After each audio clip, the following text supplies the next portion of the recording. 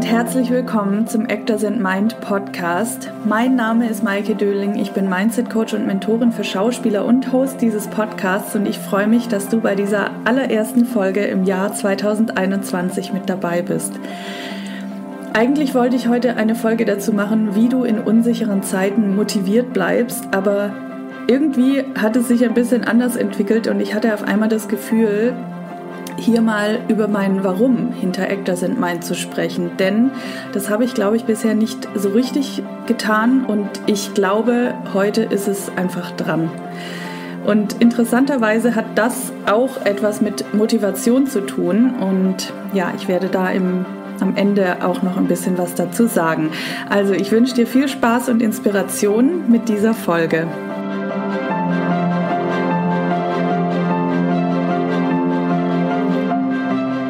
Erstmal hoffe ich, dass du gut in dieses neue Jahr gestartet bist und ja, vielleicht auch ein paar ruhige Tage hattest und das Jahr 2020 gut abschließen konntest und jetzt ruhig und mit Fokus ins neue Jahr starten kannst. Und ich möchte als erstes mal ein paar Dinge mit dir teilen, die nicht von mir kommen, die ich woanders gehört habe. Und zwar habe ich mir die Energievorschau von Baha Yilmaz angeschaut und da waren ein paar Dinge drin, die ich für wichtig empfand, auch für meine Arbeit und deswegen möchte ich sie auch hier teilen.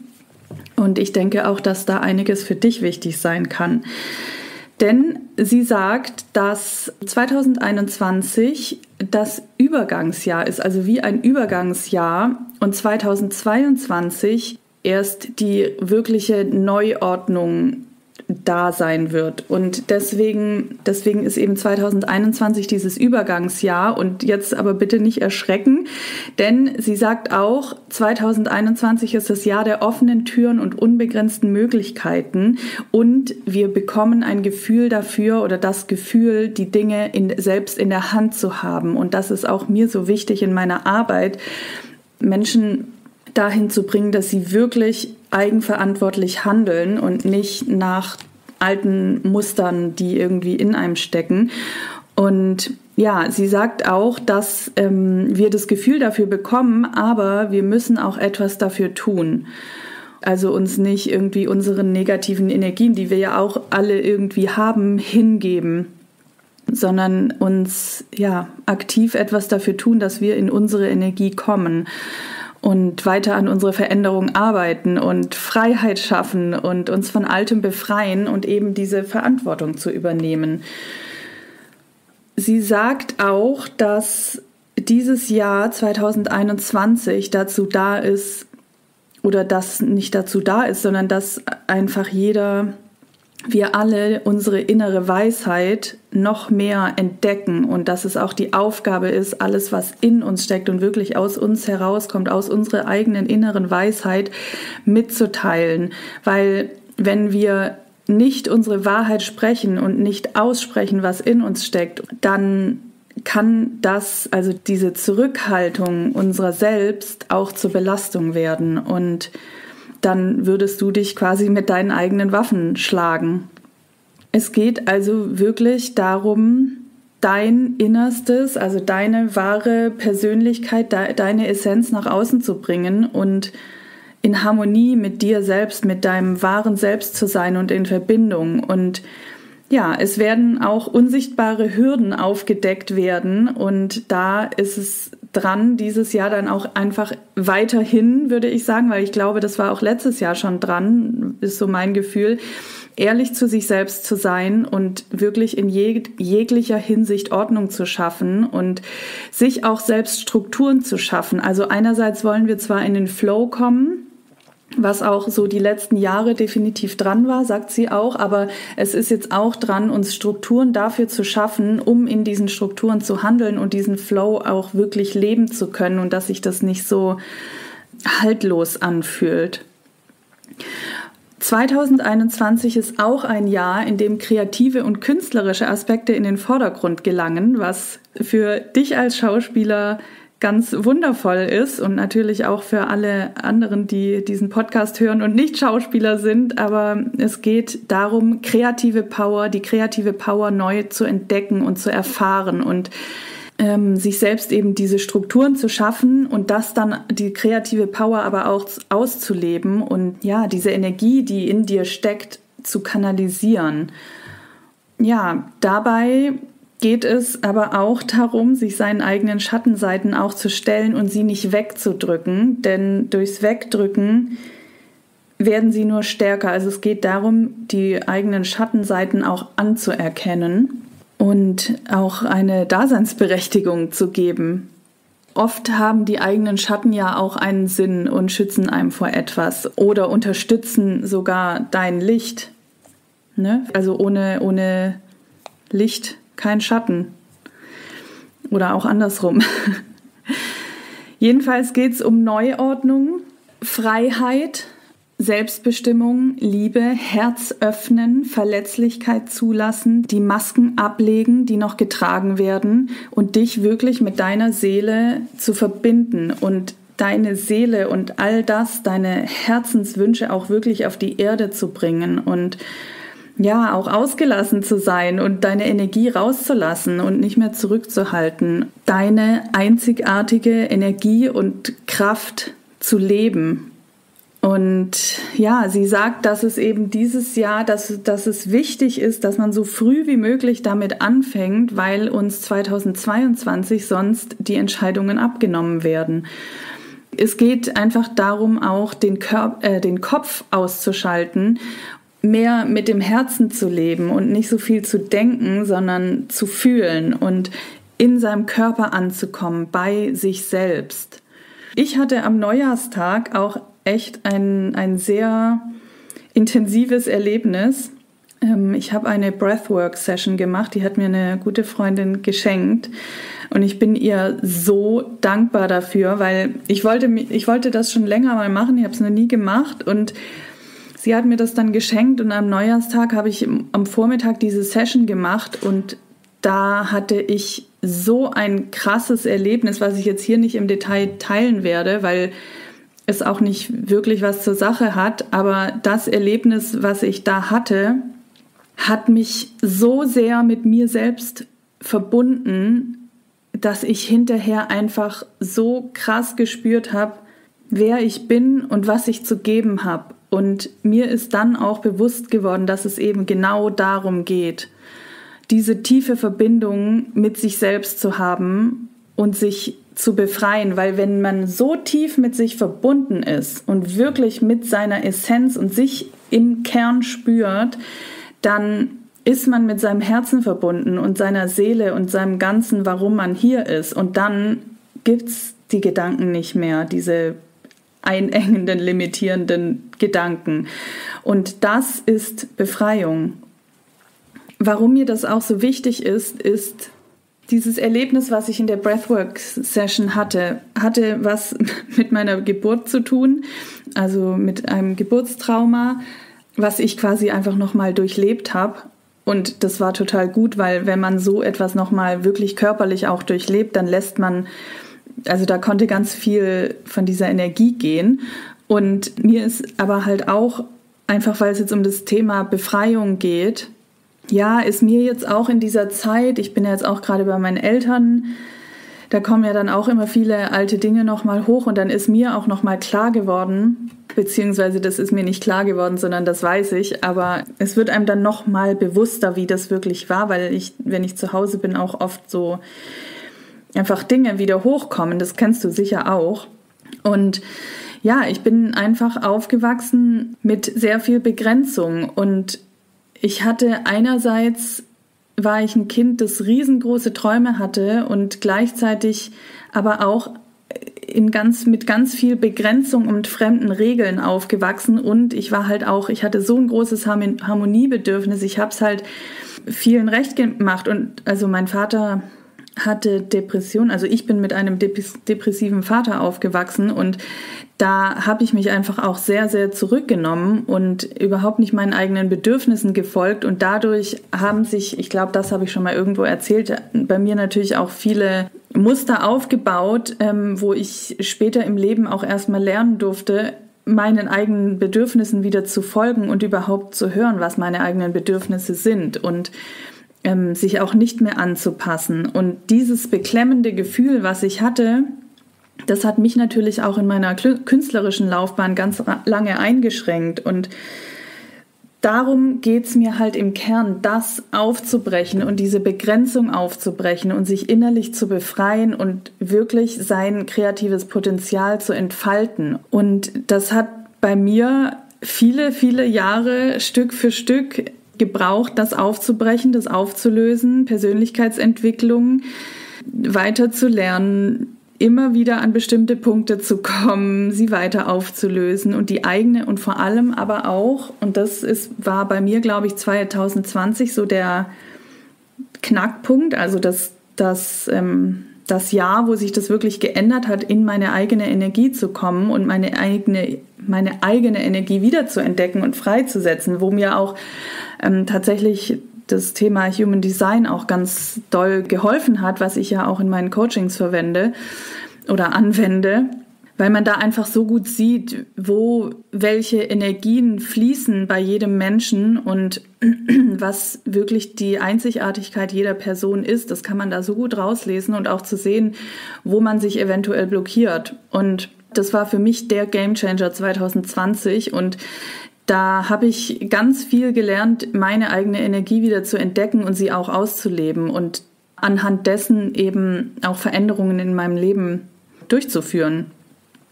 Und ja, mit dem allen geht es darum, wirklich in Harmonie und in Verbindung mit sich selbst zu kommen.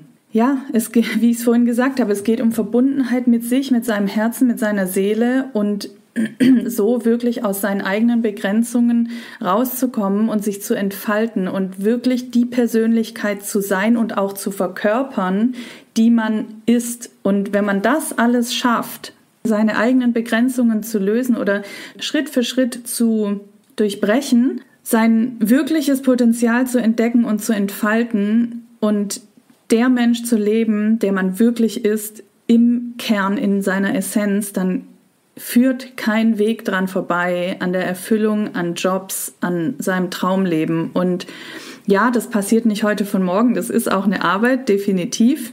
Aber wie gesagt, ich war ein Kind, das große Träume hatte und 2020 war für mich das Jahr, wo ich gespürt habe, was möglich ist, wenn man Wege geht, wenn man Schritte tut, wenn man Mauern aufbricht und die eigenen Erfahrungen verändert. Denn im Grunde sind es die Erfahrungen, die wir selber gemacht haben in unserer Kindheit, die dann unser Denken beeinflussen oder prägen. Und es sind diese Erfahrungen, die man unterbewusst sich immer wieder kreiert, die man als Begrenzung spürt. Es ist nichts anderes.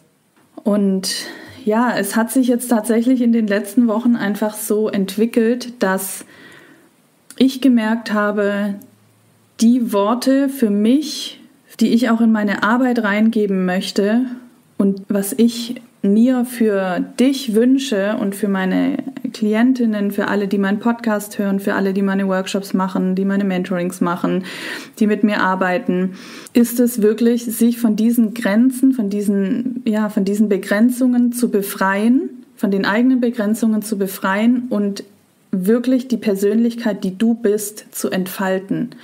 Und deswegen sind Befreiung und Entfaltung meine Wörter für dich für 2021 und auch mein Warum, was wirklich im Grunde in meiner tiefsten Kindheit auch angefangen hat, dieses Bedürfnis, sich zu befreien und was ich über Jahre gemacht habe und gelernt habe. Und das ist mein, meine Intention, mein Wunsch für 2021. Ich möchte den Schauspielern und Schauspielerinnen da draußen dir helfen, aus diesem Paradigma, aus dieser Denkweise der eigenen Erfahrungen auszusteigen, weil ich weiß, dass es so viele gute Schauspieler und Schauspielerinnen da draußen gibt, die nicht ihr volles Potenzial zeigen, weil ihre eigenen Erfahrungen in ihrem eigenen Leben zu einem Gefängnis geworden sind. Und sorry, dass ich das jetzt so hart ausdrücke, aber das ist einfach so. Es ist eine Mauer oder eine Wand oder ein Gefängnis, eine Blockade, wie auch immer man es nennt, die man sich selbst aufgebaut hat. Und ja, das ist mein tiefstes Bedürfnis, dir, euch allen dabei zu helfen, sich von diesen Mauern zu befreien und ein eigenes, ein neues Paradigma, eine neue Denkweise zu erschaffen, in der Träume möglich werden, weil die eigenen Begrenzungen nämlich dann nicht mehr zählen. Und das ist mein Wunsch und mein Warum für dich 2021. Und ich weiß, jetzt komme ich zum Thema Motivation. Ich weiß, dass das herausfordernde, Zeiten sind. Vor allem weiß auch keiner, wie es weitergeht. Es ist einfach es herrscht so eine gewisse Unsicherheit. Manche können damit besser umgehen, manche weniger, manche spüren das mehr, manche weniger. Das hat auch immer was damit zu tun, wie ja, wie sehr dieses Thema Unsicherheit auch bei einem selber ein Thema ist. Aber genau das ist auch unsere Chance.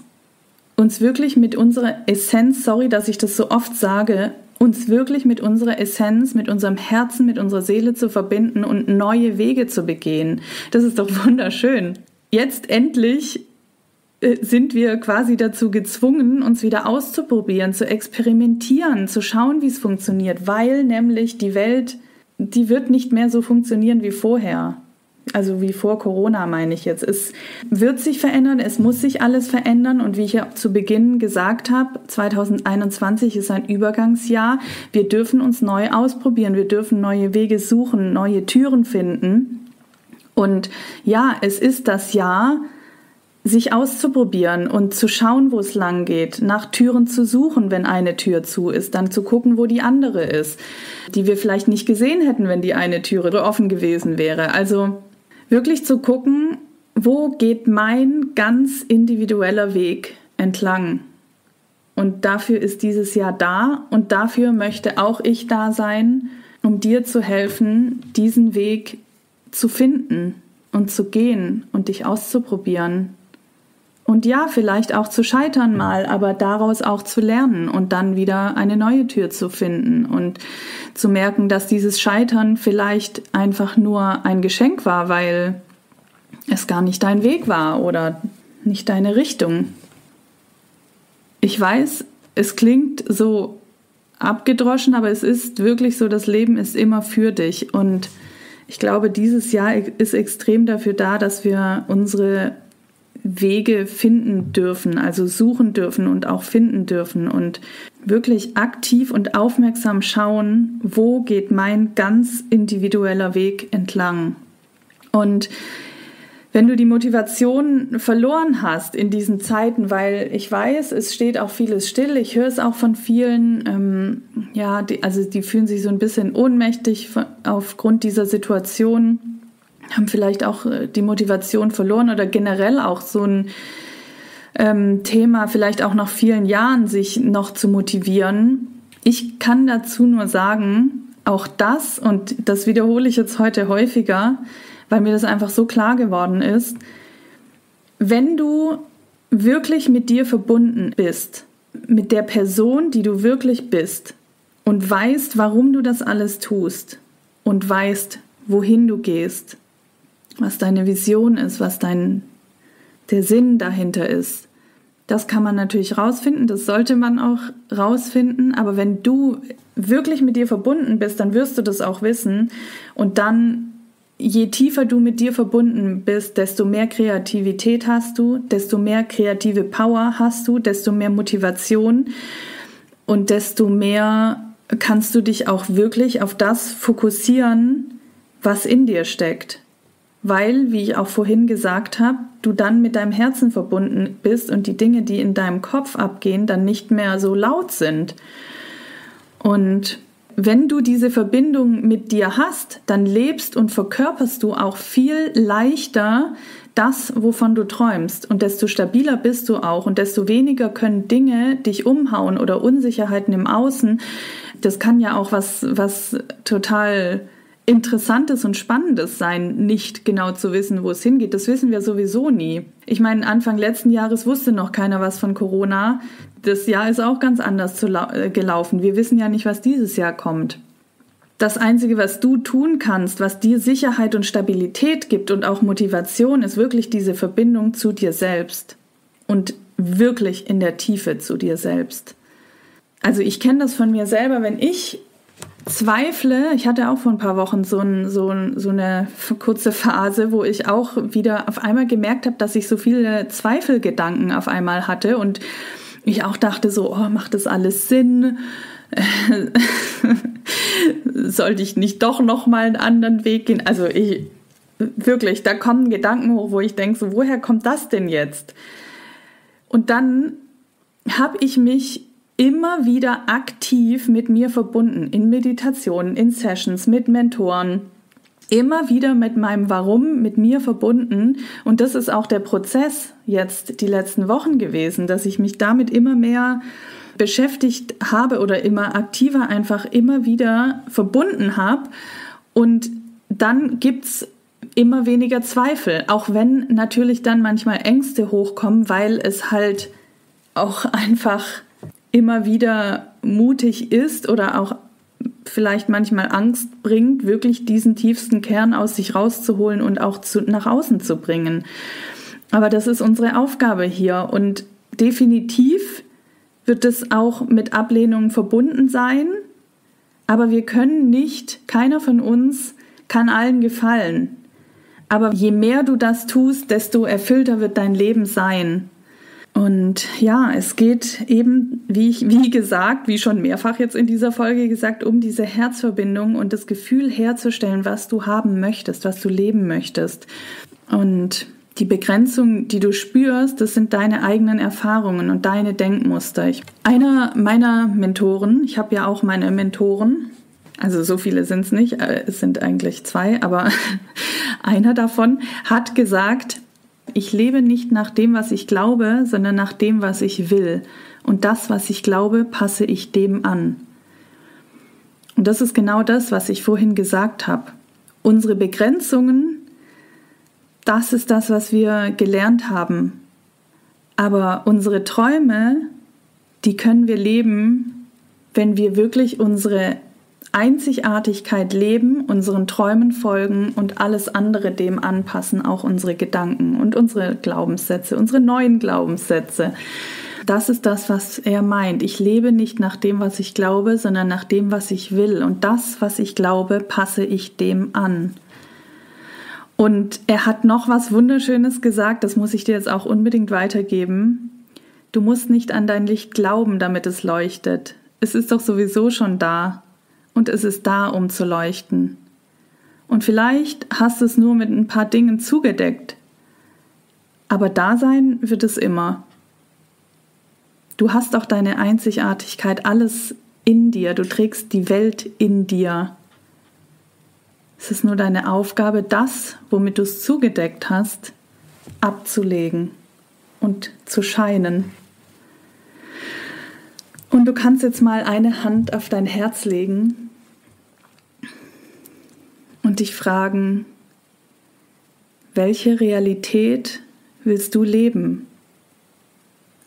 Die deiner Begrenzungen oder die deiner Träume? Und dann schließ mal die Augen und verbinde dich wirklich mit deinem Herzen. Und spür auch deinen Atem. Mach mal vielleicht einen tiefen Atemzug.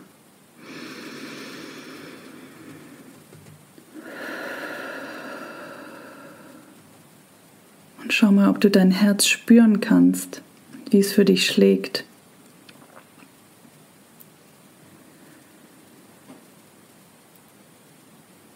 Und dann frag dich mal, was habe ich zu geben?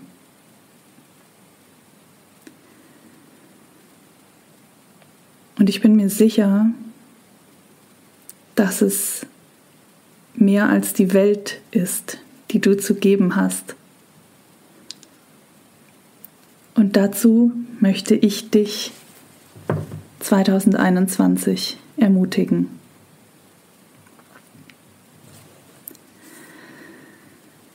Ja, es wird 2021 viele Wege geben, mit mir zu arbeiten oder auch einfach diesem Podcast weiter zu lauschen.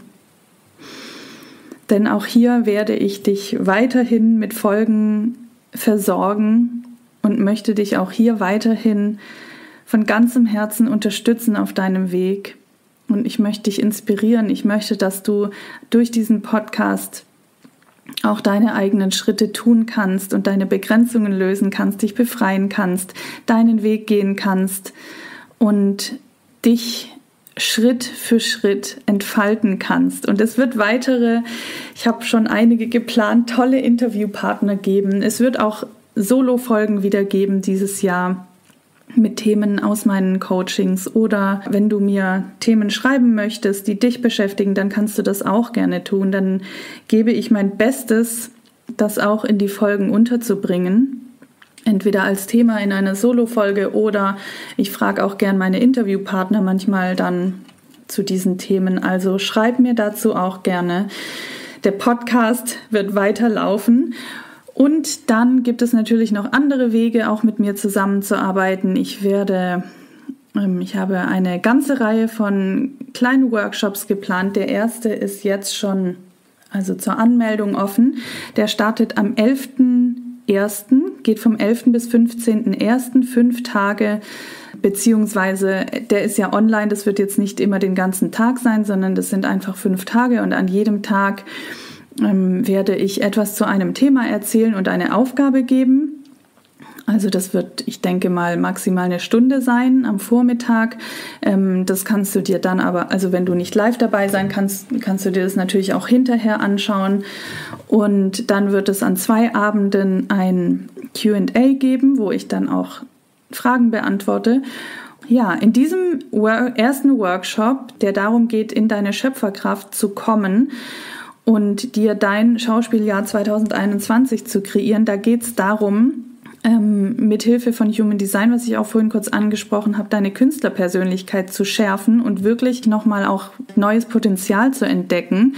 Dann wird es darum gehen zu erkennen, wo du dich noch blockierst, vielleicht auf deinem Weg ähm, oder womit du dir im Weg stehst. Dann geht es darum, dich an deine wirklich tiefen Träume und dein wirklich im Kern warum zu erinnern oder ähm, wenn du das noch nie gemacht hast, auch das vielleicht herauszuarbeiten und dadurch auch neue Motivation zu schaffen.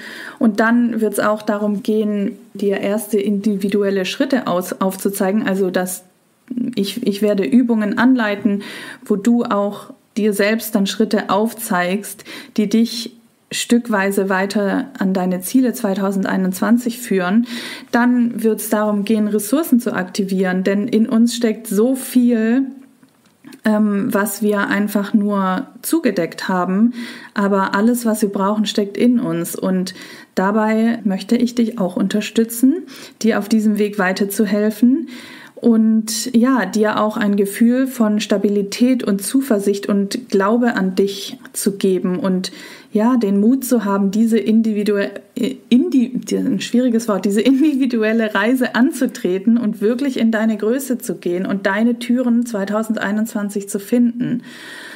Genau, das ist der erste Workshop vom 11. bis zum 15.01. Den Anmeldungslink, den werde ich hier in die Shownotes schreiben. Man kann sich bis zum, ich denke mal, bis zum 9.01. abends anmelden. Du findest ihn natürlich auch bei Instagram oder auf meiner Facebook-Seite Actors and Mind Coaching oder bei Instagram unter maike.döling. Alle Links findest du natürlich wie immer auch in den Show Notes und dann geht es aber natürlich dieses Jahr auch weiter. Es wird, ich werde eine ganze Reihe von Mini-Workshops geben. Die werden, so habe ich es zumindest jetzt geplant, mal schauen. Ähm, ich habe auch noch einige Kooperationsworkshops geplant, aber mein Plan ist es eigentlich, zweimal im Monat einen Mini-Workshop zu geben. Das bedeutet, ein Abend, circa zwei Stunden zu einem Thema. Und das sind, das werden wirklich Preise sein, das kann sich jeder leisten. Und ja, da wird es zweimal im Monat ein Thema geben, wo ich auch bei Instagram dann vorher habe ich jetzt geplant Abstimmungen machen werde. Also ich werde dann vorher vier Themen reingeben und abstimmen lassen, welche Themen am meisten gewünscht sind. Und diese Themen werde ich zu diesen zwei Themen werde ich dann diese Mini-Workshops geben. Und du oder ihr wählt eben die Themen. Genau, das wird es geben. Ich weiß noch nicht genau, entweder starte ich am 21.01. oder dann im Februar, aber auch das werde ich bei Instagram bekannt geben oder auch ähm, bei Facebook. Und dann wird es auch Gruppenprogramme geben. Also das sind dann wirklich Trainings. Also es wird mehrere dieses Jahr geben. Ich denke aber, also ich habe unterschiedliche ähm, Formate entwickelt und es wird eins geben, das im Februar startet.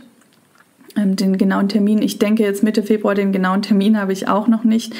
Das heißt Trust, Focus, Flow. Und da geht es in sechs Wochen darum, sich wirklich mit sich zu verbinden, sich selbst wieder zu vertrauen vor allem, weil so viele haben das Vertrauen verloren in sich und seine Fähigkeiten und glauben deshalb auch nicht mehr so richtig dran. Und da geht es darum, wieder, wirklich wieder sich mit sich zu verbinden, mit seinen Fähigkeiten, mit seiner Einzigartigkeit, mit seinen Qualitäten und mit seinem Potenzial und dem aber auch wieder zu vertrauen. Denn nur wenn man sich vertraut und diese alten Denkmuster loslässt, dann kann man auch wieder in den Flow kommen und in seine Größe gehen und sich entfalten. Und es geht in diesen sechs Wochen eben darum, genau das zu trainieren. Auch dazu findest du, wenn es soweit ist, die Infos bei Facebook und Instagram, hauptsächlich Instagram. Und dann gibt es noch eine dritte Möglichkeit, mit mir zu arbeiten. Das, sind mein, das ist das Mentoring. Ich begleite im 1 zu 1 Coaching Schauspieler und Schauspielerinnen auch auf ihrem Weg mit individu individuellen Themen. Und dafür kann man sich bewerben. Es gibt einen Bewerbungsbogen bei Instagram. Den kannst du gerne ausfüllen. Das ist auch völlig unverbindlich. Aber ich mache für das Mentoring immer einen Kennenlern-Call vorher, weil ich natürlich da auch nur begrenzte Plätze habe für das 1 zu 1 Coaching und wirklich herausfinden möchte vorher, ob ich der Person helfen kann oder nicht, ob wir zusammenkommen, ob das passt. Und deswegen, wenn du an einem Mentoring interessiert bist, dann möchte ich dich bitten, diesen Bogen auszufüllen oder mir einfach zu schreiben bei Facebook oder Instagram. Genau, und das ist eine individuelle Begleitung über sechs Monate. Da gibt es unterschiedliche Modelle. Auch das kann ich dir dann also entweder einmal oder zweimal im Monat eine 1 zu 1 Session. Plus, ich habe geplant, mit allen, die im Mentoring sind, einmal im Monat einen Gruppencall zu machen, sodass ihr euch auch da ein bisschen austauschen könnt, vielleicht auch die Themen der anderen so ein bisschen mitkriegt, weil ich auch festgestellt habe, auch in den Mentorings, in denen ich war, dass es so hilfreich ist, manchmal die Themen der anderen auch zu hören, weil man manchmal dadurch feststellt, ach, das ist ja auch mein Thema, da, nur ist es mir noch gar nicht so aufgefallen und das kann auch unglaublich inspirieren. Und deswegen möchte ich diesen Gruppencall einmal im Monat auch machen für alle, die im 1 zu 1 Mentoring sind. Das wird eine sehr überschaubare Gruppe sein, weil ich aktuell geplant habe, da nicht mehr als fünf Leute drin zu haben. So, und zwei Plätze sind schon belegt, das heißt, es sind auch nur noch drei Plätze offen. Aber ja, das kann sich auch immer ändern und es kommt natürlich auch darauf an, wie viele Leute jetzt einmal im Monat, wie viele Leute zweimal im Monat das eins zu eins wollen und dadurch kann es natürlich auch sein, vielleicht kann ich ein paar mehr auch nehmen. Das wird sich dann alles entwickeln. Das sind die Möglichkeiten, mit mir zu arbeiten. In jedem Fall wünsche ich dir von Herzen ein frohes neues Jahr und bin mir sicher, dass du deinen Weg gehen wirst und ich unterstütze dich auf allen möglichen Wegen von Herzen darin. Ich danke dir auf jeden Fall fürs Zuhören.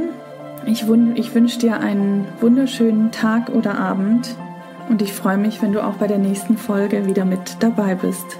Alles Liebe, deine Maike.